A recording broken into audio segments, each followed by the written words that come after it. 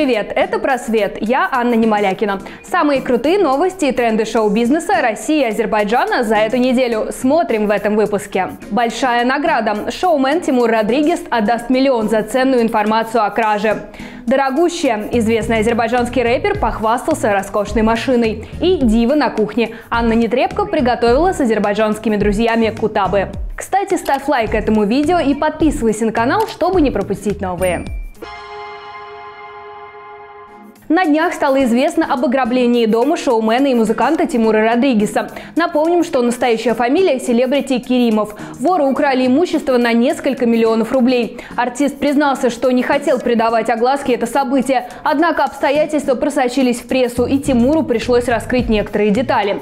Шоумен заявил, что инцидент произошел в деревне Глухово в Красногорском районе. В период с 5 по 12 ноября в дом пробрались воры, отжав дверь на террасу на первом этаже. Их добыча добычей стали 45 тысяч долларов США и 400 тысяч рублей, то есть свыше 3,6 миллиона рублей в совокупности. Кроме того, воры забрали ювелирные украшения. Родригес объявил награду за сведения о ценностях, которые были украдены из его дома. Соответствующее видеообращение он выложил в своем инстаграме. Я понимаю, как важно время в расследовании подобных преступлений, поэтому я объявляю вознаграждение в размере 1 миллиона рублей за информацию, которая поможет вернуть похищенное. Ее вы можете отправить на почту Сергей Жирный, который указал под постом. Ну и, само собой, я надеюсь на профессионализм э, представителей правопорядка. Кстати, Москва-Баку дозвонился до шоумена и попросил прокомментировать данную ситуацию, на что Тимур ответил, что ему больше нечего сказать, и все, о чем было нужно, он уже объявил. Кроме того, по словам знаменитости, определенные обстоятельства произошедшего свидетельствуют о том, что воры действовали по наводке. Особенное сожаление Тимур выразил по поводу кражи кольца, которое он подарил своей жене, когда делал предложение. Он также заявил, что многие украденные вещи дороги его семье как память. Напомним, что Тимур Родригес – жена с 2007 года на девушке по имени Анна. В браке супруги воспитывают двоих детей, сыновей Мигеля и Даниэля. Оперная дива, супруга азербайджанского тенора Юсифа Ивазова Анна Нетребко вместе со своими друзьями из Азербайджана приготовила для американских коллег азербайджанское блюдо кутаб. Певица любит показывать в своих социальных сетях кулинарный процесс и часто готовит для своего супруга Юсифа Ивазова блюдо азербайджанской кухни. Несколько дней назад певица прилетела к мужу в США, где проходят его гастроли, и пара решила устроить ужин для американских друзей. А у меня перекус. Не работает, съест. Пока не, при, не пришли гости, не сожрали мой любимый салат оливье. День два. Приготовление к партии. Ахат Ибрагимов и Камусик наш сладкий. Что они делают? Шкварчим. Шкварчим и делаем кутабы. Приготовить кутабы нетребко помогли азербайджанцы, проживающие в США. Вместе с ними Анна решила удивить американцев и заодно познакомить гостей с азербайджанской кухней. Вместе они приготовили кутабы с мясом. Видео приготовления этого блюда нетребко выложила в соцсети. Гости были в восторге от приготовленных оперной дивы и ее друзьями блюд. Кстати, кутабы – одно из самых популярных мучных блюд азербайджанской кухни. Это своеобразный тонкий пирожок в форме полумесяца из пресного теста с начинкой. В качестве начинки используют мясо, в основном баранину, а также зелень, тыкву, сыр и лук. Готовят кутабы в основном весной и осенью. В разных регионах кутабы называют по-разному. К примеру, в Гусарском районе – афар, в Лирике – терели, кита и выпекают их на садже. Мама 28-летнего популярного казахстанского рэпера азербайджанского происхождения Джакалиба Лизат Мамедова рассказала о том, как воспитать суперзвезду, а также о невестке украинке. Кстати, жену популярный рэпер не показывает широкой публике. Год назад для всех поклонников стала большой неожиданностью новость о том, что Джакалиб тайно женился. Два года назад сын позвонил и сказал, я приеду не один, я хочу жениться. Так мы познакомились с Машей в 2019 году. Она украинка, родом из Одессы и тоже музыкант. А для музыкантов национальность не имеет значения. Близкий человек должен быть созвучен душе и родным по духу. Я радуюсь, что сын счастлив с Марией. Многие считают, что Бахтияр скрывает жену, но думаю, не скрывает, а оберегает, рассказала мама исполнителя. Отвечая на вопрос, планирует ли в ближайшее время привести в родовое гнездо внука или внучку, Лизат Мамедова заявила, конечно, планирует и может очень скоро. Главное, они счастливы. 26-летний рэпер Наваи Бакиров, участник популярного дуэта Хамали и Наваи, похвастался шикарным Роллс-Ройсом. Точнее, о дорогом приобретении рассказал друг рэпера, продюсер Бахти, Бахтияр Алиев. Бахти и Наваи встретились на парковке. Продюсер поздравил друга с покупкой и, конечно же, поинтересовался, сколько стоит машина. Сколько? 40 миллионов. Сколько треков надо записать, чтобы могу купить такую машину, брат? Один хороший. Один хороший трек и Калина на вас. Учись.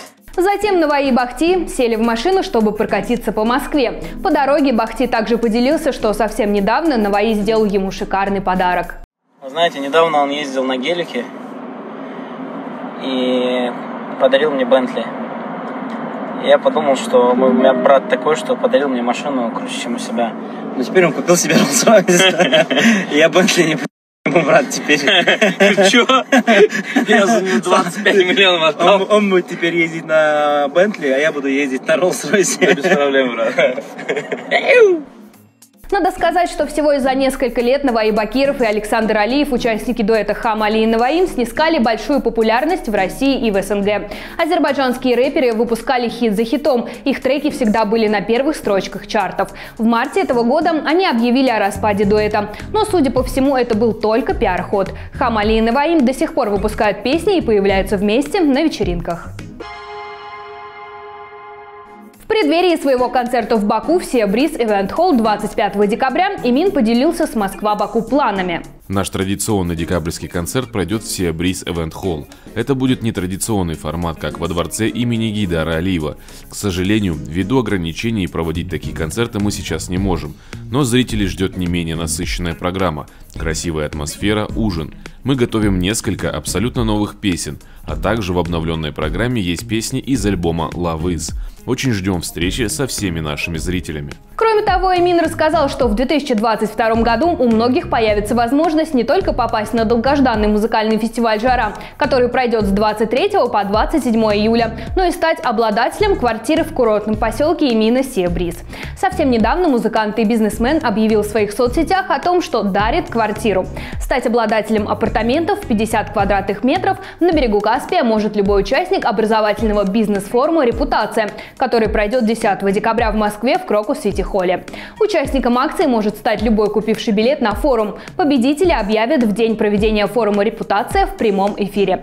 Также Имин рассказал Москва-Баку о планах на проведение в следующем году международного музыкального фестиваля «Жара». Мы уже активно готовимся, составляем программы с артистами. Очень надеемся, что в следующем году нам удастся провести фестиваль в том формате, в котором он и задуман.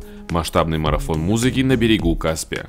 Более 250 артистов и тематические вечера. Поэтому следите за нашими новостями и готовьтесь к ярким концертам. Телеведущий, эксперт моды и бакинец Владислав Лисовец рассказал в интервью Светлане Бондарчук о дружбе с певицей Жанной Фриски и ее последних днях. Вспоминая знаменитую подругу, стилист подчеркнул, что Жанна Фриске обладала мужественным характером. Однажды Фриске появилась в ее салоне, будучи уже в тяжелом состоянии, но при этом поддерживала позитивный настрой и шутила в разговоре с другом. «Я буду всю жизнь ей благодарен за такую силу. Она невероятная. Мы смеялись. Клиенты и администраторы смотрели на нас изумленно, зная диагноз и понимая все, вспомнил стилист. Это была их последняя личная встреча, после которой Владислав Лисовец и Жанна Фриске поддерживали общение исключительно по телефону. Стилист надеялся, что подруга сможет побороть болезнь, но спустя два месяца их связь резко оборвалась.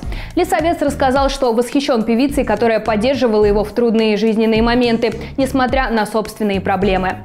Напомним, что певица Жанна Фриски скончалась 15 июня 2015 года после продолжительной болезни.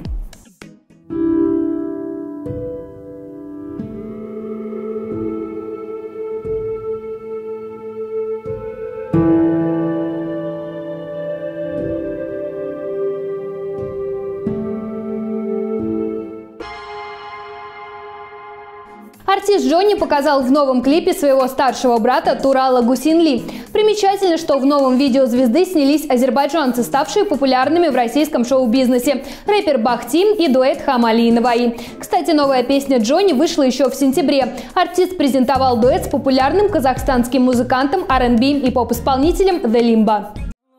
Меня зовут Джонни Если спросят, то запомни Рядом со мной хоми Всегда под моими найками Роуз На сегодня это все. Еще больше информации на нашем сайте. Адрес на экране. До встречи.